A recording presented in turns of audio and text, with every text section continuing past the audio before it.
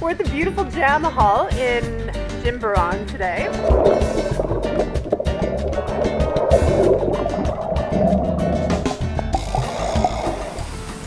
The entrance to Jamahal is very pretty. Very, very Balinese and you walk right into lush green gardens and there are fish here in the pond and this is where they do check-in. It's also uh, the site of happy hour. Okay, and off reception is my room.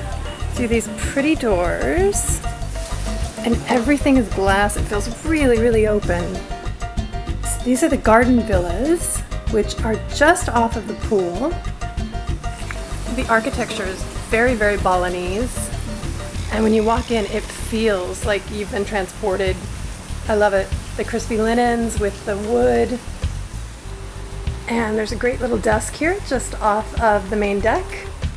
A beautiful view while you're in bed, either of the bamboo there or the garden. It's really pretty. You can hear the sound of the waterfall and direct access to the main pool. See? I've been working from inside the gazebo and the pool actually feels a bit more like a lagoon than a pool the way it's set up. It's very pretty. Okay, this is great. Outdoors, there's an accordion uh, divider, wall divider that opens up. So I suppose if you'd like a little bit more privacy, you can set that out. So I plan to spend most of my time outside here. And Jamahal doesn't have a restaurant, but the chef will prepare anything your heart desires. So I'm sure I'll take quite a few meals there. I love that they've put a vanity chair in, which is really helpful when you're getting ready at night. And this is quite a treat because most outdoor bathrooms are actually outdoors, but here it's enclosed, although it feels very, very open. And they'll draw a welcome bath for you. There's a rainforest shower head, of course.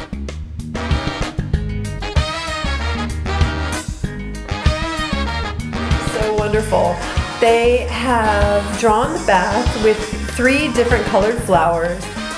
I'm pretty reclined and this is how far I stretch and I'm five foot eight. I have a glass of wine, which I'm smarter now. When I start the bath, I actually uh, pre-order some wine, which I didn't used to do.